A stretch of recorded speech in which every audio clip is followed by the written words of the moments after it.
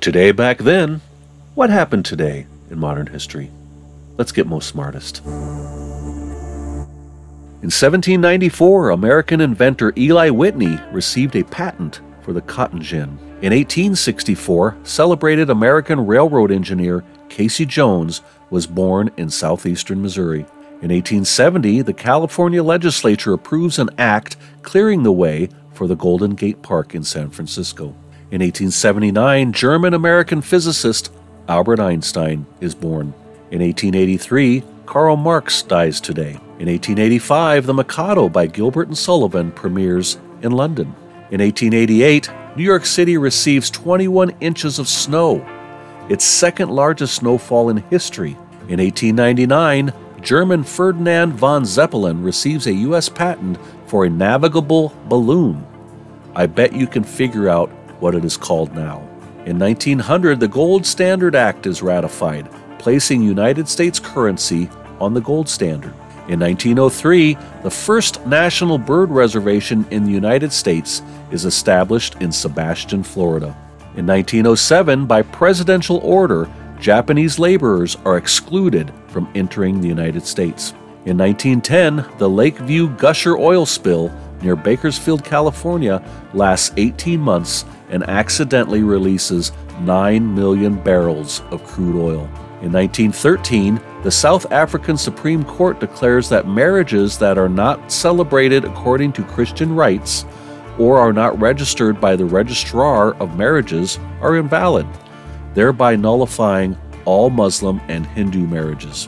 In 1923, the German Supreme Court prohibits the Nazi Party. I guess prohibit had some wiggle room. Also in 1923, U.S. President Warren G. Harding becomes the first president to pay taxes. In 1926, a train in Costa Rica falls into the Rio Virilla, killing 248 people and injuring 93 more. In 1933, British actor Michael Caine is born. In 1939, Nazi Germany dissolves the Republic of Czechoslovakia. In 1940, The Road to Singapore, starring Bob Hope, Bing Crosby, and Dorothy Lamour, premieres. It is the first of seven so called road films. In 1941, Nazis forbid Jewish owned companies in Holland. Also in 1941, Xavier Cugat and his orchestra record Babalu. In 1942, penicillin saves a person's life for the first time. In 1950, the FBI's 10 Most Wanted Fugitives program begins. In 1951, for the second time, United Nations troops recapture Seoul during the Korean War. In 1954, Milwaukee Braves home run king Hank Aaron hits a homer in his debut game against the Boston Red Sox. In 1956, 50 year old baseball star Satchel Paige signs a contract to play for and manage the Birmingham Black Barons of the Negro National League. In 1958, the first gold record is officially certified. It was Perry Como's Catch a Falling Star. Also in 1958, South Africa's government prohibits the African National Congress. In 1964, in the first courtroom verdict ever televised in the United States, Jack Ruby was found guilty of the murder of Lee Harvey Oswald, who was the assassin of U.S. President John F. Kennedy. In 1967, the body of President John F. Kennedy is moved to a permanent burial place at Arlington National Cemetery. In 1971, the Rolling Stones leave England for France to escape taxes. In 1972, at the 14th Grammy Awards, Carole King's It's Too Late and Bill Withers' Ain't No Sunshine are big winners. In 1973, future U.S. Senator John McCain is released after spending over five years in a North Vietnamese prisoner of war camp. In 1979, at least 200 people are killed when a plane crashes into a factory in China. And just the next year, in 1980, a plane crashes during final approach near Warsaw, Poland, killing 87 people, including a 14 man American boxing team. In 1987, at the 13th People's Choice Awards, Clint Eastwood and Meryl Streep win for Motion Picture, and Bill Cosby and Cybill Shepherd win for television again. In 1990, Mikhail Gorbachev becomes president of the Soviet Congress.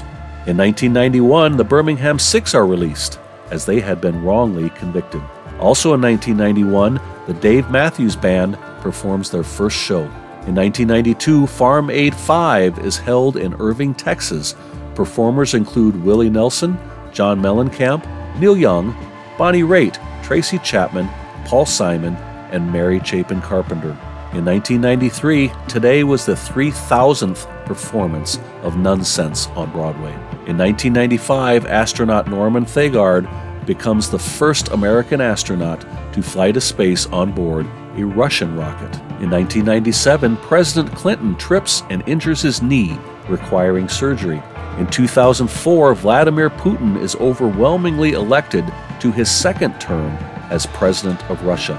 In 2005, the Rock and Roll Hall of Fame inductees include Buddy Guy, the O'Jays, the Pretenders, Percy Sledge, and U2. In 2006, Mike Wallace retires from the news program 60 Minutes after 37 years. In 2011, Rock and Roll Hall of Fame inductees include the Alice Cooper Band, Neil Diamond, Dr. John, Tom Waits, and Leon Russell. In 2013, seven people are killed after gunmen storm a bar in Cancun, Mexico. In 2016, NASA releases data showing that February 2016 is the warmest month ever recorded globally. In 2017, the European Court of Justice rules that companies can ban staff from wearing religious symbols, including headscarves. Also in 2017, the world's oldest golf club, Muirfield in Scotland, votes to admit women as members for the first time in 273 years. In 2018, theoretical physicist Stephen Hawking passes away at age 76. Also in 2018, a NASA study of twins finds that astronaut Scott Kelly is no longer identical to his twin brother after he spent one year in space. In 2018 as well, the World Happiness Report names Finland as the world's happiest country. In 2019, Tropical Cyclone Idai comes ashore in Mozambique, killing at least 417 people. And lastly, in 2021, a UK police officer is charged with the death of Sarah Everard, who disappeared walking home in South London. So that was today's episode. It was kind of a short one, so to make up for it, I think that you should watch a couple of others. They're right there in front of you. Go for it.